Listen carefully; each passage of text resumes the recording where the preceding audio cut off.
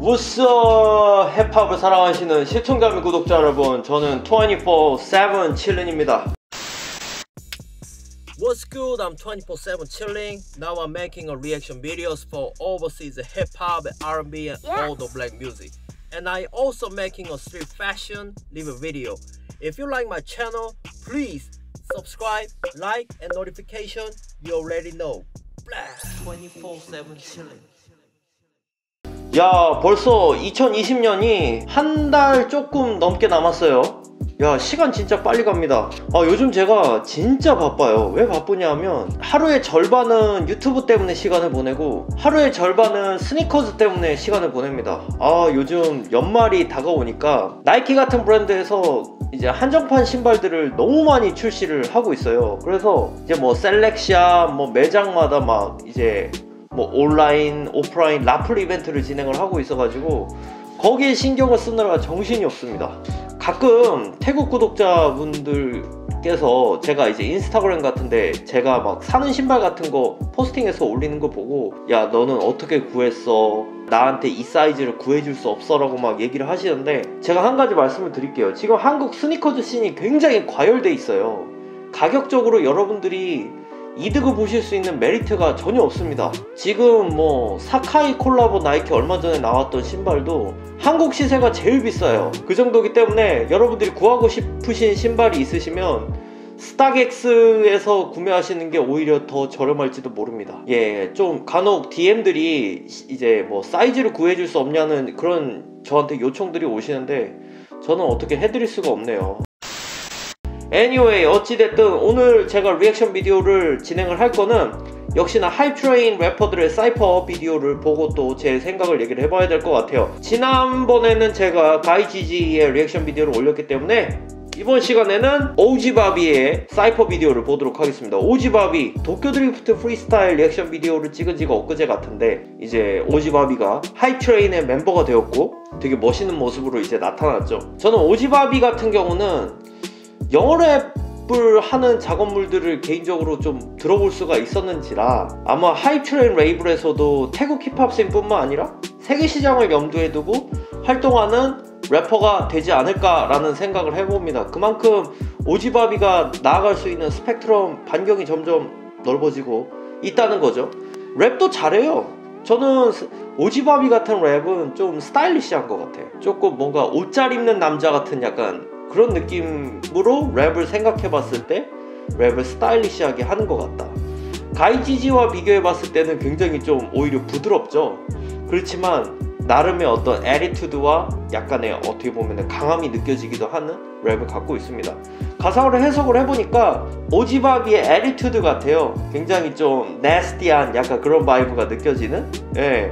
가사 해석하다가 재밌는 문구도 있었어요. 경찰이 나를 위아래로 쳐다보는 거는 내가 멋지니까 질투해서 위아래로 쳐다본다 라는 문구도 있을 정도로 좀 재치 있는 표현들도 해석해보니까 있었습니다. 지금부터 오지바비의 사이퍼 비디오를 보면서 제 생각을 얘기를 해보도록 하겠습니다. 저작권 차단 문제가 있기 때문에 편집이 좀 있을 거라는 점을 양해를 해주세요. 야, okay, get into it.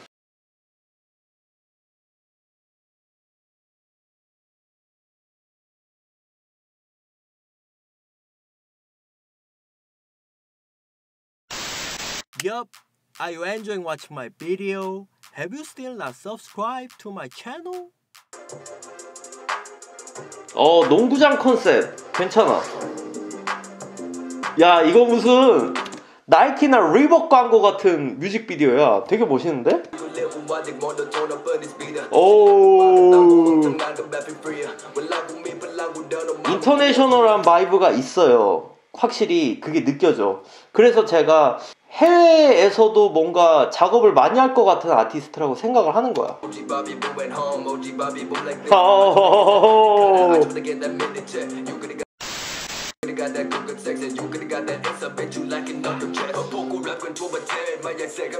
약간 그런 느낌도 있어요. 예전에 탈베스의 vibe랑 비슷한 느낌도 있지만 또 자세히 들어보면 탈베스랑은 약간 또 결은 조금 다른 스타일 같아. 그러니까 탈베스 같은 경우는 좀 소위 말해서 저는 어떤 느낌이냐면 hipster vibe 같은 스타일로 랩을 뱉는단 말이에요. 되게 되게 dope한, 되게 어두운 스타일인데 OG Bobby 같은 경우는 hipster vibe나 그런 느낌은 또 아닌 것 같아요. 랩을 뱉을 때는. 굉장히 또 좀 랩 making이나 디자인을 하는 데 있어서 은근히 좀 깔끔한 면들이 게- 굉장히 많이 있단 말이죠. 그래서 되게 clean하게 들리는 그런 느낌이 있어요. 그래서 좀 탈베스나 오지바비 같은 래퍼들의 랩을 들어보면 자세히 들어보면 분위기가 확실히 다르긴 달라. 아 이건 비트도 되게 좋네.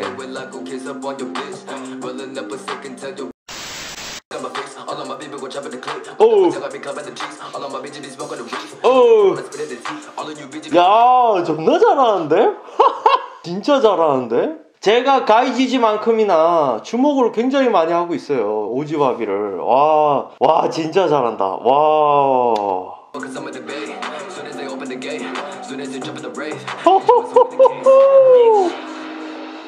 Hype Train에 솔직히 제가 이렇게 개인적으로 봤을 때 랩을 못하는 래퍼들이 소속돼 있지는 않은 것 같아. 어, 되게 잘해요. 다 한 가닥 하는 사람들이 있어요. 게다가 재밌는 거는 Hype Train 멤버들마다 스타일이 진짜 천차만별이에요. 제각각이야. GUYGEEGEE 랩 듣고 한번 놀랬다면 OG Bobby 랩 듣고도 굉장히 놀랐어요. 제가 말했죠. 랩이 굉장히 스타일리시하다고 아마 동의하는 사람들이 있을 거라고 저는 생각을 해요. 굳이 태국 힙합 scene만을 염두에 두고 활동하는 래퍼가 아니길 바래요. 저는 해외도 이렇게 좀 염두하면서 같이 이렇게 나가는 래퍼가 됐으면 좋겠고 일단은 톤이나 랩할 때 이런 랩할 때 목소리나 이런 느낌들이 되게 dope하고 좋아서 전 진짜 아, 마음에 드는 래퍼입니다. 가령 저는 international한 vibe가 있는 래퍼를 생각할 때 1MILL을 무조건 첫 번째로 꼽았거든요.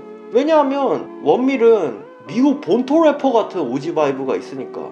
그래서 여러분들 뉴스를 보셔서 아- 아시겠지만 1MILL이 지금 YSL 레코드에 있는 어떤 래퍼랑 작업을 하고 있죠. 그게 다 이유가 있는 거라니까. 저는 OG Bobby도 international한 vibe가 있기 때문에 좀 더 넓은 시야를 보고 활동을 했으면 좋겠다 이런 생각을 가져봅니다. 진짜 니노가 보는 안목이 있는 것 같아. 진짜 좋은 래퍼를 영입을 한 것 같아요. 자 여러분들의 의견은 어떠신지 모르겠습니다. 의견이 있으신 분들은 댓글로 많이 남겨주시고 저희 24-7 치는 채널이 마음에 드시면 구독, 좋아요, 알람 설정을 해주세요. 저는 다음에도 재밌는 영상으로 다시 돌아오겠습니다. 여러분 감사합니다. Peace out. 컵. If you want to watch more videos,